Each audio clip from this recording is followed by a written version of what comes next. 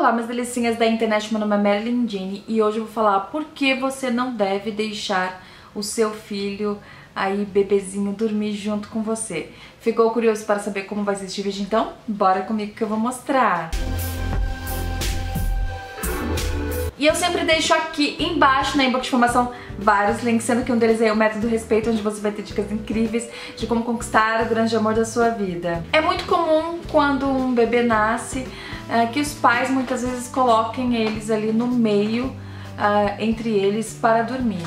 Só que essa não é uma prática recomendável porque a pessoa pode simplesmente rolar em cima do bebê e acabar aí, mesmo sem a intenção, matando este bebê.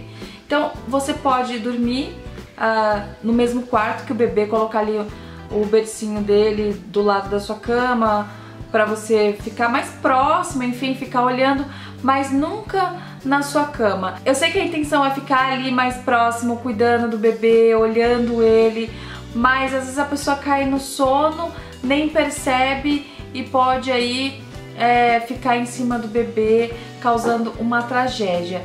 E a gente pensa que não, mas isso acontece bastante já Houve muitos casos onde os bebês morreram dessa forma, então é algo que a gente pode e deve evitar. E só um dado importante aqui, dividir a cama aí com o bebê é a principal causa de morte súbita na infância. E é uma causa aí é, totalmente evitável, né? Você pode evitar isso colocando o bebê para dormir em outro local. E é importante você saber que você nunca deve dividir a cama com o bebê se você estiver muito cansado, se você tiver ingerido álcool ou se você for fumante. E quando o bebê fica ali entre os dois, acaba perdendo essa questão do casal mesmo, sabe? De ser um casal, ali à noite de ter os carinhos e de ficar junto como casal, né? Porque tem muitos pais que quando o bebê nasce, eu sei que no comecinho a própria natureza, né, ela dá um jeito da mãe ali focar mais no bebê porque ele é um ser totalmente dependente dela, mas muitas vezes o casal esquece da rotina aí de casal, da sua intimidade, né? Eu sei que é bem difícil, que é complicado, é cansativo, mas essa questão de você ser um casal, de manter uma certa intimidade, não pode ser perdido aí com a maternidade, né?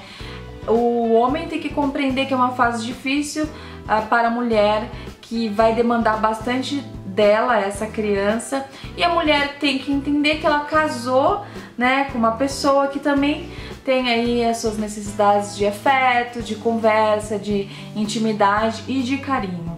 Então, tendo isso em mente, eu acho que vai ficar menos doloroso para ambas as partes.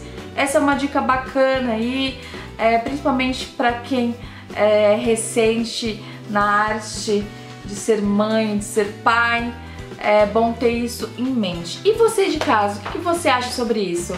Me deixa aqui embaixo nos comentários que eu quero saber. Se você gostou desse vídeo, não esqueça de deixar um gostei pra mim aqui embaixo isso é muito importante para o crescimento do meu canal aqui no YouTube. E tem aquele botão que eu sempre falo por aqui, inscrever-se. Apenas um clique e você já estará inscrito. Me siga lá nas redes sociais, eu vou ficar muito feliz de ter você comigo. Um beijão, mas um beijão bem grande nesse seu coração gigante. Fique na paz e até a próxima. Tchau!